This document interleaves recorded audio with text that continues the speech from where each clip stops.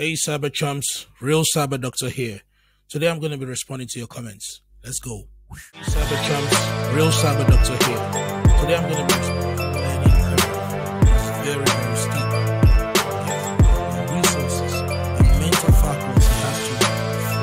Today I'm going to be answering a lot of questions. There's this question from a guy on Instagram, and he said, Am I too old to start a career in cybersecurity? The straight answer to that question is no. You're not too old to start a career in cybersecurity. I don't care if you're 40, 50, 60, or 70. The most important question you should be asking is what are the attributes of a cybersecurity professional? So it's not your age, it's your qualification, your quality as a person. Number one on my list is you have to have an uncommon passion to learn. Now, this is very, very important because the cybersecurity learning curve is very, very steep. Yes, it's intimidating to say the least. There is a lot to cover. You need to be very vast across a lot of fields legal, uh, financial, gaming, healthcare, banking. You need to know how to apply cybersecurity in those areas. So, a, a basic understanding of the workflow of the data processing, storage of all these systems and how they work and these various fields is extremely important. So you'll be learning every time. You have to learn. And also there is a lot of technologies from multiple vendors you have to learn. Uh, network devices, endpoints, um, software applications, web applications, uh, mobile applications. There are so many uh, plethora of devices and systems that you have to study. You know, if you really want to be a cybersecurity pro, so you must have that passion to learn. I remember when I started 11 years ago, I spent most of my time in the library. Yes, they didn't go home, always in the library. Luckily, the library had a facility, you know, for students to have you know, their shower, relax, get breakfast, and all that. So it, was quite comfortable. So once you have that opportunity to learn, you you have to go for it. Number two, you need an uncommon ability to concentrate. This is very important because a lot of people in this field, their knowledge is haphazard, it's mediocre. You know, they don't have the time, they don't take the time to study deeply one particular concept at a time.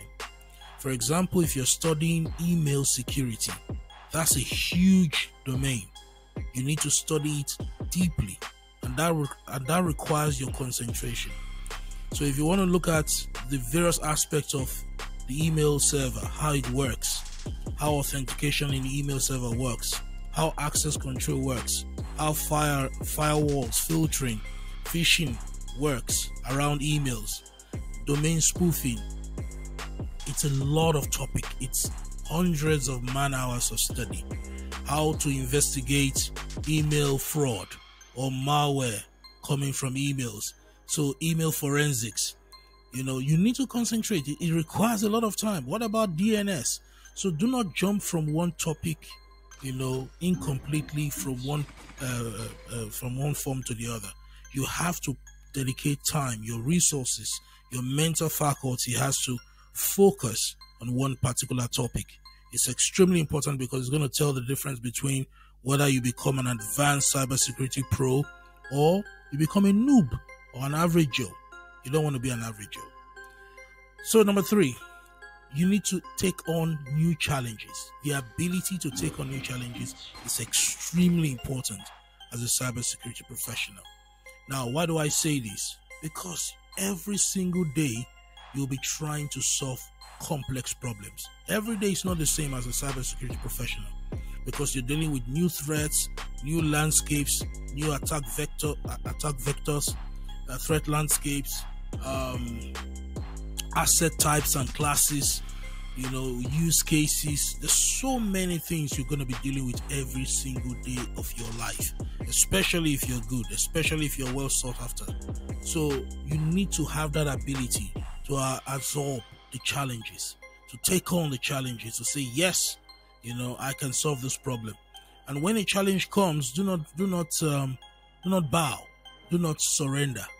you know, you do not surrender. Even if, even if it's going to take you three days, four days, a week, a month, three months, you have to focus.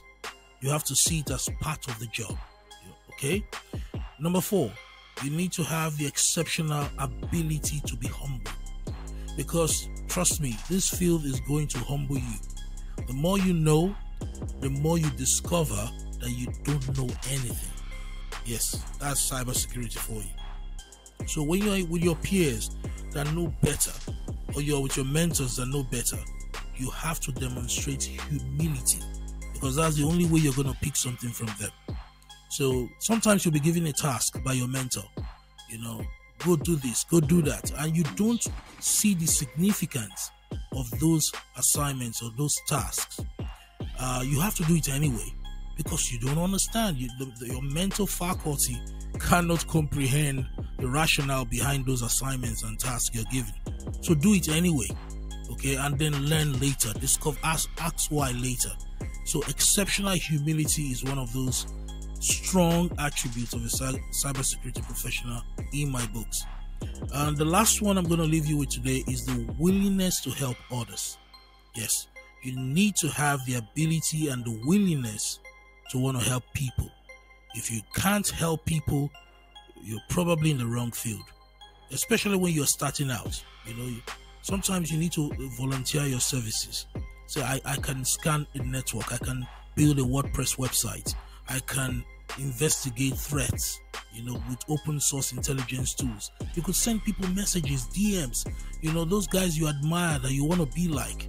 You have to be willing to help them. Also, businesses as well. You can volunteer your time to help charity organizations. I know when I was starting out, I helped a lot of charity organizations, you know, to secure their website, you know, implement web application firewalls. You know, it, it adds to your resume, you know, as you help others, you know, you help your career as well. You, you encounter more problems, you learn better, you know, you flow better, you improve your communication skills, your social skills, interacting with people. So it's important you have that ability and the willingness to help other people. So I hope you guys enjoyed this um, response to the comment section. You're not too old to go into cybersecurity. Uh, the the real question is, do you have the attributes? And if you don't have these attributes, it's something that you can work on. Yes, start working on them. It's important you work on them. Uh, thank you very much for listening, and please do subscribe. Click the like button for more of these uh, series. And also, um, if you have questions, leave your, your questions down. If they are specific enough, if they are good enough, I'm going to make a video response to it. See you soon. Hey, Cyber Chumps, Real Cyber Doctor here. Today I'm going to be learning very, very steep. The resources, the mental faculty has to. Today I'm going to be answering a lot of questions